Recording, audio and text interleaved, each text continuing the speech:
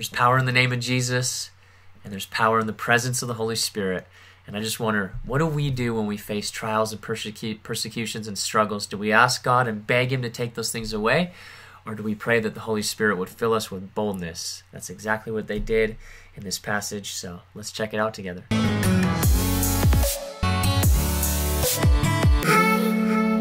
Hey, welcome to Bible Time, everybody, the place that we read the Bible together. And it's just an opportunity for us to meet with God every day, hear from Him, hear from His heart, hear from His Word.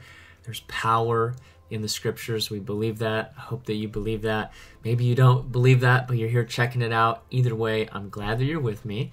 And, uh, and I just know that if we if we allow God's word to speak to us and speak to our hearts, it, it brings life to us. The statistics tell us that you're a healthier person if you spend at least four days a week in God's Word. That anxiety is down, depression is down, uh, self assurance is up, joy is up, all of those things. And so, uh, but above all that, for me, the primary motivation is that myself and all of you that we would grow in our real relationship with Jesus, like really grow in intimacy in our walk with Him, and that we'd learn to hear His voice through His Word and through prayer. And so I want to encourage you to spend some time in prayer on your own.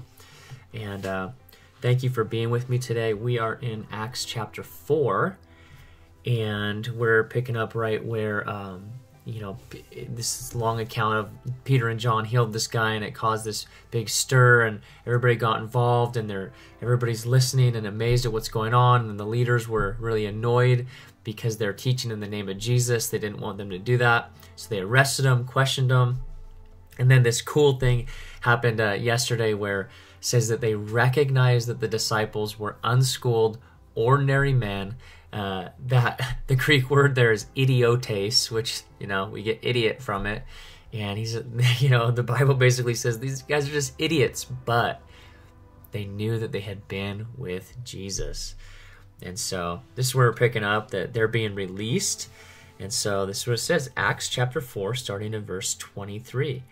Let's give our attention to the Word of God. When they were released they went to their friends and reported what the chief priests and the elders had said to them.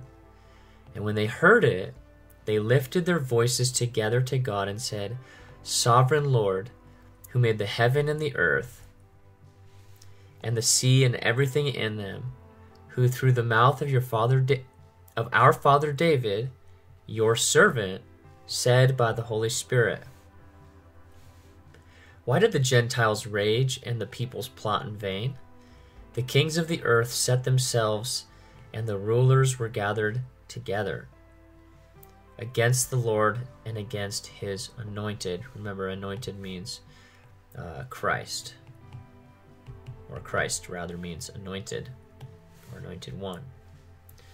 For truly in this city there were gathered together against your holy servant Jesus, whom you anointed, both Herod and Pontius Pilate, along with the Gentiles and the peoples of Israel, to do whatever your hand and your plan had predestined to take place. And now, Lord, look upon their threats and grant to your servants to continue to speak your word with all boldness. Wow.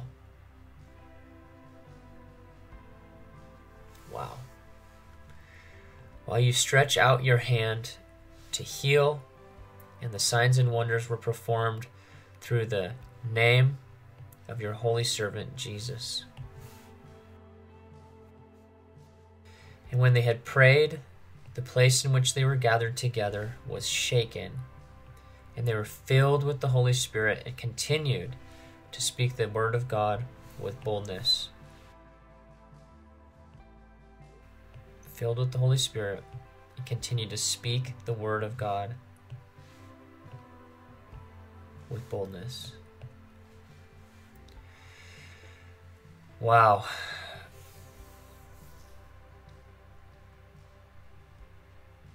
I'm just feeling really um, already convicted by something that I just read here. I don't know if it stood out to you, but if you were here yesterday and the day before, you saw, you know, that they had been arrested, threatened, um, you know, these leaders are against them, and they said, Do not teach or heal or anything in the name of Jesus.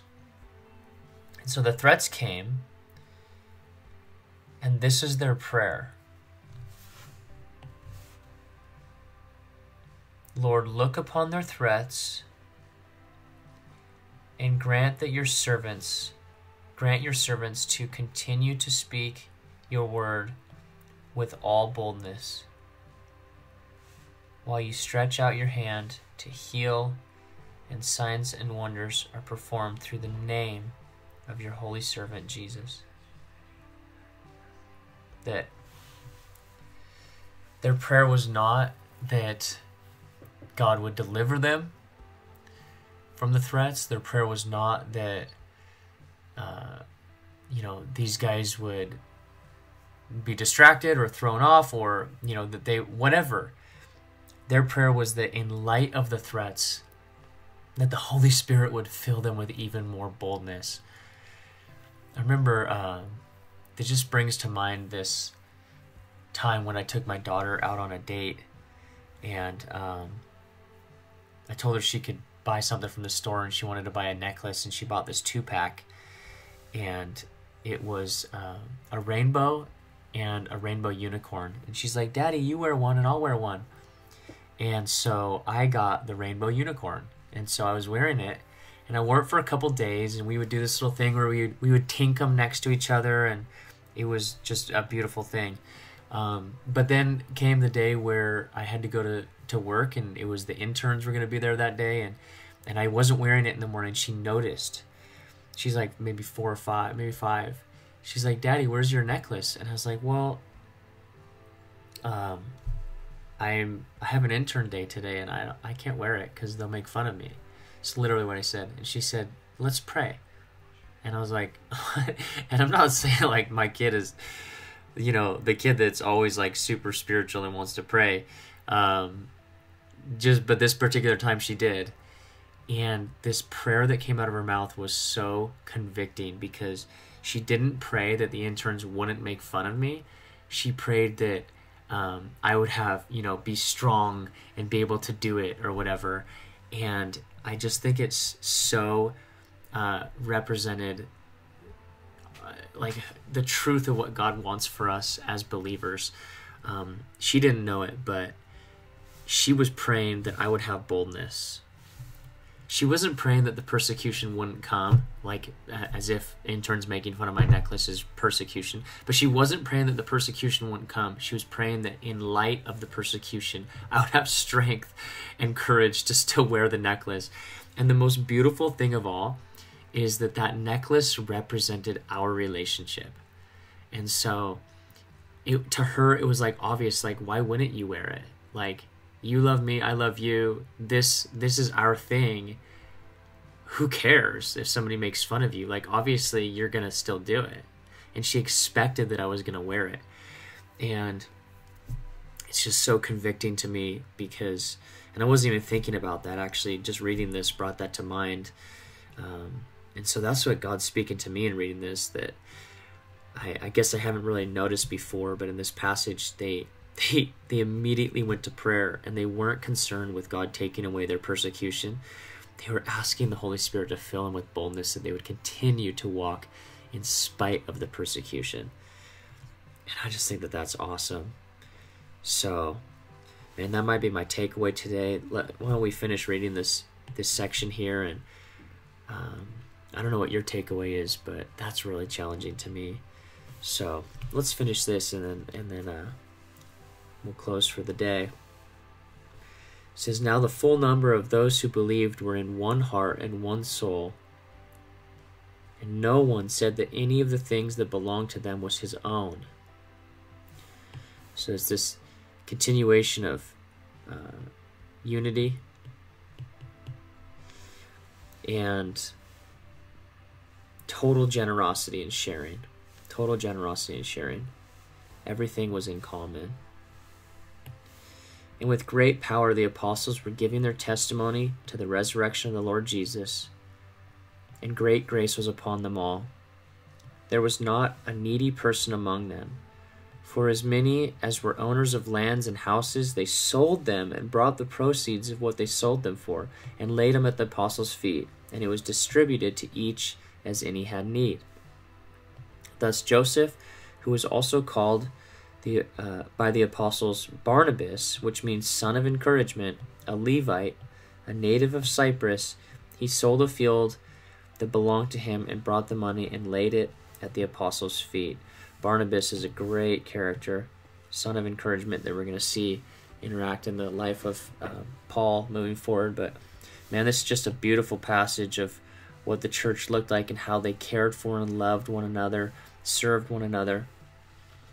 I want to do one thing real quick. Um, I just want to go back and see the occasions of the name of Jesus. So Let me count those real quick.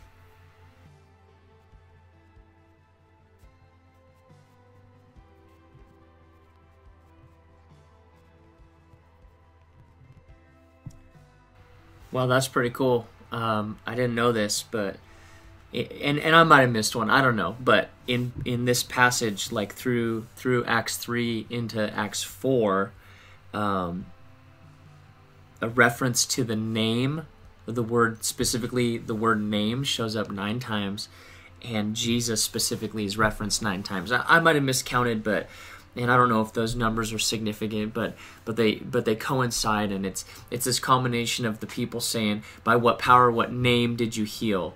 and then you know the disciples saying it's it's not us but it's in the name of jesus that we brought healing or that this man is walking before you. Excuse me. And then later they're saying don't teach in that name.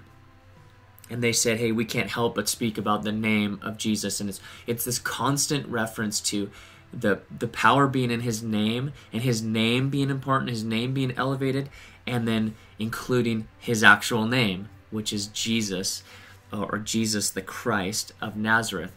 And um, there's just something that's so important about the name of Jesus. I don't. I've noticed in our world that people are fine using the term God because, at least in this generation in our culture, God is is a generic term that can mean kind of any any god out there that one believes in but when you use the name of Jesus there's no question as to which god you're talking about and I think that it's really, really important. It's really important for a number of reasons. Number one, the Hebrew version of Jesus uh, is is really from the root uh, Yeshua, which is you know actually translated Joshua, but it means that Yahweh or Jehovah saves. And so Jesus, the, the Jesus' name in Greek is Jesus, but it really comes from that root of of Yeshua or Jehovah saves, which is the God of the Old Testament. And so, um, not only that, but the scriptures tell us, like like the last book that we studied, Philippians, that it's at the name of Jesus that every knee will bow in heaven and on earth and under the earth, and every tongue will confess that Jesus, the Christ, He is Lord. And uh, I think in uh, First John or one of those, it says, you know, anyone who calls on the name of Jesus will be saved, um, will be called children of God and so it's uh it's just so important for us to to lift up the name of Jesus. Jesus says in John 12, "When I am lifted up, I will draw all men to myself."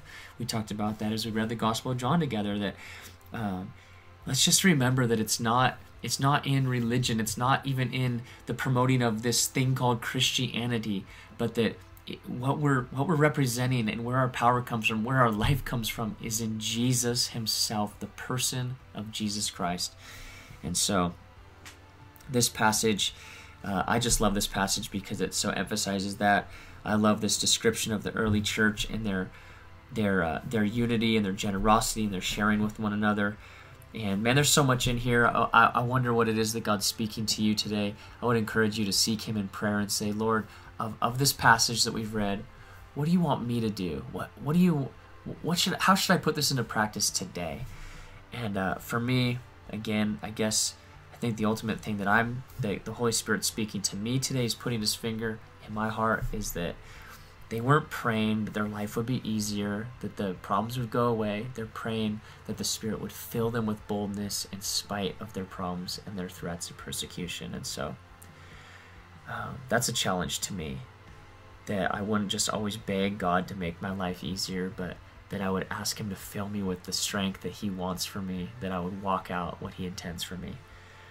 And I think that that naturally happens when we grow in our relationship with God, that we grow in our devotion to Him. Like just like me and my daughter, like when relationship, when real relationship is present, it's like, duh, of course you're going to represent me and not be scared of other people. And so I'm challenged by that. I hope that God's challenging you by that and whatever else that uh, His Spirit's speaking to you. And so uh, that's it for today. We'll see you tomorrow. God bless you.